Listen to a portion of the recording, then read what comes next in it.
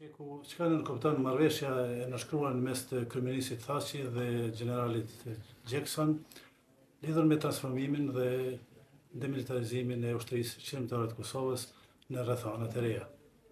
Deshta t'thom fillimisht se Ushtria Çlirimtare e Kosovës ka respektuar dhe prapë respekton çdo vendim Politik që merret nga Qeveria e Përkohshme e Kosovës, kështu që edhe ky, edhe kjo marrëveshje e nënshkruar këto ditë është një obligim për neve, por është një nevojë e kohës që u tregua tani me zhvillimet ma të fundit në Kosovë. Marrëveshja është një vendim shumë i rëndë politik i Qeverisë së Përkohshme të Kosovës, por prap se prap thashë se është obligativ për neve, do të thotë që Ushtria Çlirimtare e Kosovës do të demilitarizohet dhe transformohet sipas kësaj marrëveshjeje në kohën prej nëntëdhjetë ditëve, Dhe kjo marrëveshje nënkupton se Ushtria Çlirimtare e Kosovës është bon faktor vendimtar në Kosovë dhe palë e barabartë me forcat e KFOR-it tani në Kosovë, kështu që kjo marrëveshje u nënshkru nga dy palë të barabarta që tani të dy ushtrive të barabarta që tani veprojnë në Kosovë. Demilitarizimi i Ushtrisë Çlirimtare të Kosovës u tregu edhe si nevojë e kohës pasi që Ushtria Çlirimtare e Kosovës e kreu misionin e parë të shenjtë i cili ishte largimi i forcave serbe nga Kosova dhe në Kosovë sjelli paqen, lirinë, e çliroi Kosovën, së bashku me trupat e NATO-s, së bashku me popullin e Kosovës, së bashku me gjithë komunitetin ndërkombëtar përparimtar. Kështu që tani me prezencën e forcave të NATO-s në Kosovë dhe pasi që nuk ka ma forca serbe militare, paramilitare apo policore serbe të cilat i bëjshin krimet ndaj popullit shqiptar, Nuk ka as nevojë që Ushtria Çlirimtare e Kosovës të jetë në kaq numër e angazhuar në Kosovë. Duhet, domethënë, të pësojë disa ndryshime në strukturën e vet organizative, në numrin e pjesëtarëve të armatosur tani në Kosovë dhe duhet medoemos që t'u përshtatet kushteve aktuale në Kosovë që një pjesë e ushtarëve tanë të kthehen n'detyrat e veta në jetë civile në Kosovë. Ju lutem konkretisht na thoni ça çka do të thotë transformimi i UÇK-së. Marrëveshja dhe titulli i marrëveshjes është shumë i qartë. Bën fjalë për demilitarizimin dhe transformimin e UÇK-së. Kisha me thënë fillimisht se nuk bën fjalë as nuk përmendet asnjë fjalë çarmatimi i UÇK-së. Demilitarizimi i UÇK-së do të thotë që Ushtria Çlirimtare e Kosovës nga një forcë ofanzive që kishte detyrë kryesore sulmin dhe dëbimin, sulmin e forcave serbe me qëllim dëbimin nga Kosova, do të shndërrohet tani në një forcë mbrojtëse me qëllim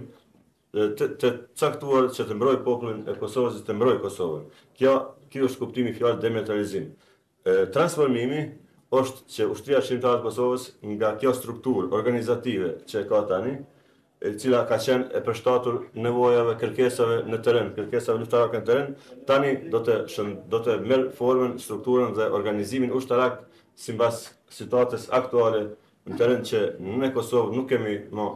prezente forcat armike, po rrezikun e presim nga jashtë. Zoti Thaçi në konferencën me gazetarë theksoi se UÇK-ja do të shndërrohet në një gardë kombëtare të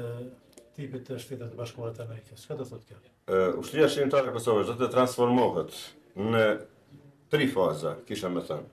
Faza e parë është faza përgatitore, faza e parë është faza e seleksionimit dhe faza e tretë është faza e strukturimit. Në fazën e parë që do të zgjatë në muajin e parë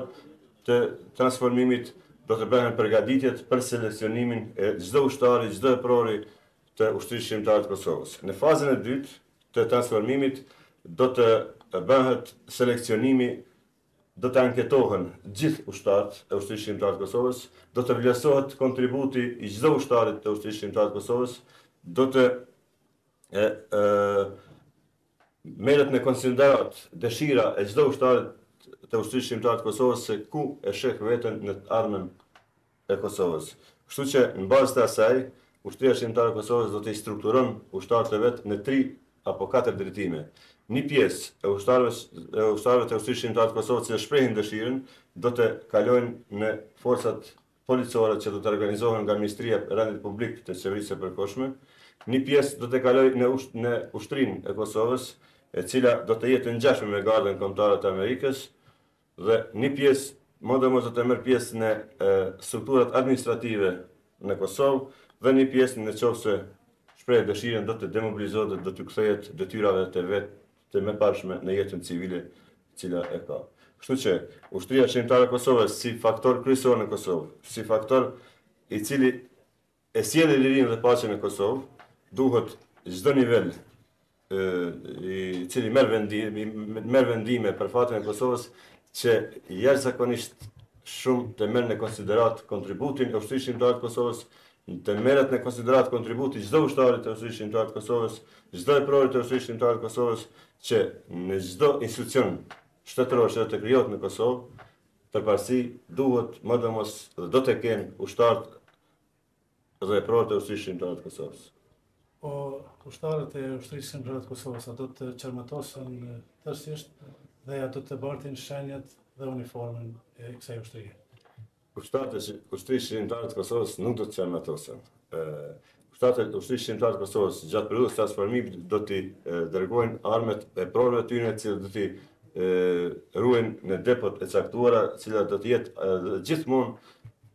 Do të jenë armë të Ushtrisë Çlirimtare të Kosovës apo të Ushtrisë të Kosovës, si do ta quajmë, apo të Gardës Kombëtare të Kosovës, varësisht se çfarë emri do t'i japim Ushtrisë tonë të ardhme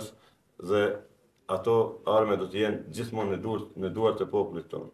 Sipas marrëveshjes së nënshkruar, parashihet edhe formimi i Komisionit të Përbashkët për implementimin e marrëveshjes. A jeni ju të bindur se kjo marrëveshje do të implementohet me sukses? Qysh nesër e kemi takimin e parë me komandantin e forcave të NATO-s ose të KFOR-it këtu në Kosovë,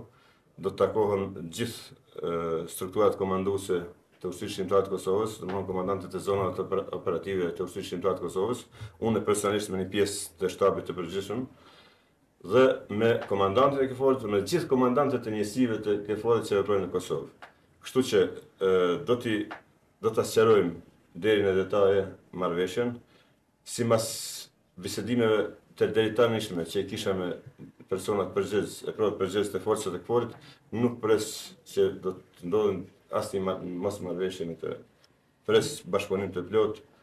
në interes të përbashkët. Po a pritni ju që ndonjë zonë e ushtrisë suaj dhe ndonjë brigadë të mos e respektojë këtë marrëveshje? Si do të veproni ju si Shtabi i Përgjithshëm në këtë rast? Nuk pres prej asnjë njësie që nuk do të respektojë këtë marrëveshje, se e di që deri me sot çdo njësi e Ushtrisë Çlirimtare të Kosovës e ka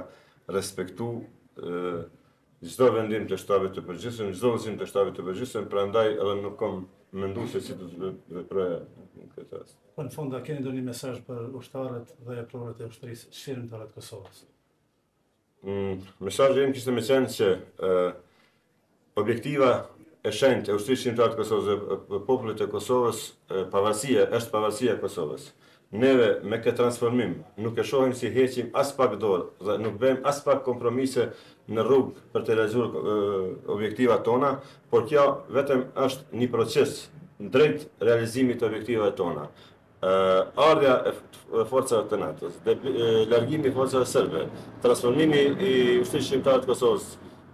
takimet, marrëveshjet e mëparshme në Rambuje, rezoluta e Kombeve të Bashkuara, gjitha këto janë pjesë e një procesi i cili është në vazhdimësi dhe i cili shpresoj se na çon drejt realizimit të objektivave tona. Për këtë nuk jemi vetëm, kemi premtime të komunitetit ndërkombëtar dhe besoj se jemi në rrugë të drejtë për të realizuar